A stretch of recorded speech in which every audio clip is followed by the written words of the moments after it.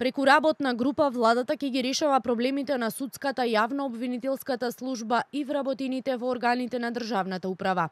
Работната група треба да биде формирана во рок од 7 дена, а освен представници од надлежните институции ќе има и представници од синдикатот на УПОС.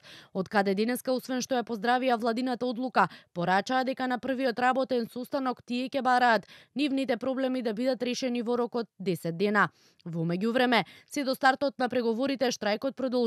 Ако нема договор, најавуваат радикализирање. Доколку не се договориме и не ги прифатат нашите услови, штрајкот ќе продолжи во поригорозен начин и нема да се работат никакви работни задачи во обвинителството. Очекуваме, ако не се договориме, на овој штрајк да се приклучат и колегите од судовите и колегите од правобранителството, што би значило дека целото правосудство нема да извршува никакви работни задачи. Доколку мислат дека ќе почнеме да се пазариме за 5 и 10% покачување на плата, воопшто да не почнуваме.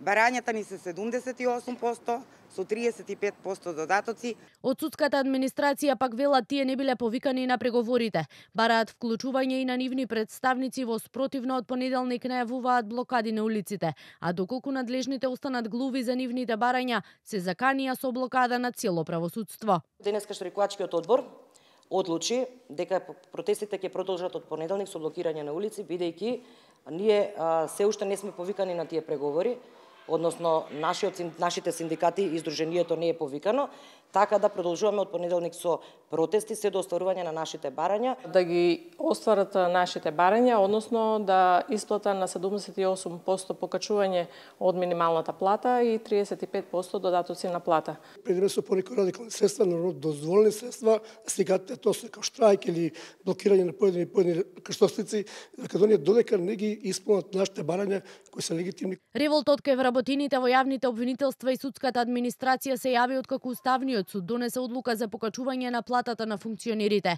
При тоа нив им се скратија додатоците на плата кои изнесуваа 35 одсто.